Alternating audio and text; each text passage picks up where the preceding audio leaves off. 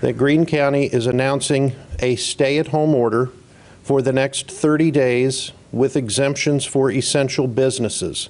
County and city leaders take a more aggressive approach to stop the spread of COVID 19. Starting at midnight on Thursday, Springfield and Greene County will be under a stay at home order for the next month. We have all the new details with what you need to know. That's coming up shortly here on our News at 10. But first tonight, COVID 19 has now taken three lives in Greene County. Two people died today. They were connected to a group of senior citizens infected at a local assisted care facility. KOLR 10's Madison Heaver up first tonight. She's been covering this all evening. What have you learned? What can you tell us, Madison?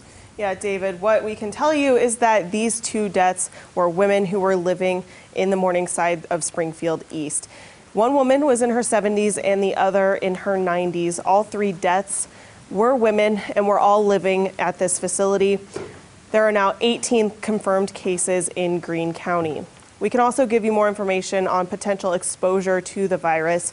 The 18th case ate dinner at Black Sheep Burger downtown and visited the Blue Room Comedy Club on Sunday, March 15th. The next day, on March 16th, the 18th case ate at Caesars Old Mexico for lunch, then shopped at the Walmart neighborhood market on Sunshine around 2 p.m. And on Tuesday, March 17th, the case shopped at Walmart neighborhood market on Glenstone around 10 a.m. Now, this case traveled domestically to an impacted area. Here's what Health Director Clay Goddard said today about the potential exposure. Please remember that COVID 19 is spread through respiratory droplets produced when an infected person coughs or sneezes. It spreads between people who are in close contact with one another, typically within six feet. People are thought to be most contagious when they are most symptomatic. Some spread is possible before people show symptoms, but it is not th- thought that that is the main way the virus is transmitted.